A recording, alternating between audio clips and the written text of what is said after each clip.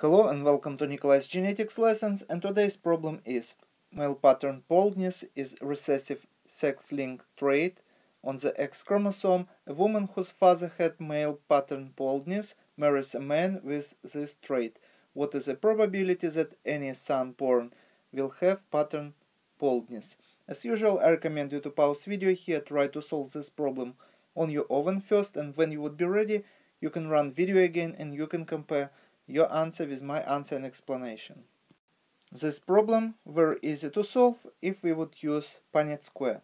So we know that a female woman had a father who had uh, this partial baldness that is X-linked. Uh, so the genotype of her father was uh, X. I would use red color to designate this defective X chromosome and Y. So this genotype of her father. And her mother had two normal X chromosomes. So when we build a Punnett square, we can see uh, all the possible genotypes in the progeny. So here in the first cell, we have one normal X chromosome from the mother side. So this is mother side and this is father side. And one defective X chromosome from the father side. Here we have one normal X chromosome from the mother side and one defective X chromosome from the father side.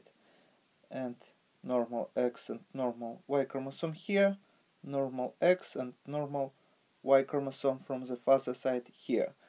So here we have 50% of the uh, progeny males and 50% of the progeny females. And as you see, all the female progeny in this family are carriers. So now we know the genotype of the woman. So this woman has uh, this genotype and uh, she marries um, another man who also shows this trait. So uh, man has also genotype that is defective X chromosome and normal Y chromosome. So this is male side and uh, female is heterozygous. She is carrier. She has one defective X chromosome and one normal X chromosome. Once again, when we build a Punnett square, we can predict uh, all the genotypes and phenotypes in their progeny. So here we have two defective X chromosomes. Here we have one normal X chromosome from the mother side and uh, defective X chromosome from the father side, defective X chromosome from the mother side here, and normal Y chromosome from the father side, and normal X chromosome from the mother side, and normal Y chromosome from the father side. So once again our question what is the probability that any son born will have pattern baldness and as you see 50% uh, of the progeny would be males and 50% of those males would be affected with this uh, partial baldness trait because uh, males do not have another uh, X chromosome with normal allele to balance this defective uh, allele, uh, such a male would show this trait. As long as you see 50% of the female progeny would have two defective alleles, but females wouldn't show this trait to such extent as males do.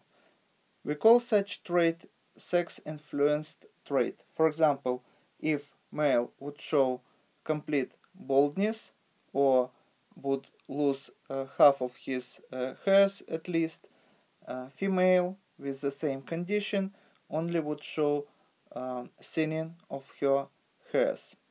And uh, another example would be sex-limited trait. So sex-limited trait that we can see only in males or females. For example, uh, birth in males uh, and uh, breast development in females. So this would be sex-limited traits. And examples that we work on today was a sex-influenced trait. And the correct answer would be 50% of the uh, male progeny would be affected with this genetic uh, disorder and 50% another 50% of the male progeny would uh, show normal trait. And this is all for today. Thank you for your attention. Please subscribe for my new videos that I post almost every day. Thumbs up if you like this video. Please write your comments, questions if you have any. And see you in the next video. Goodbye.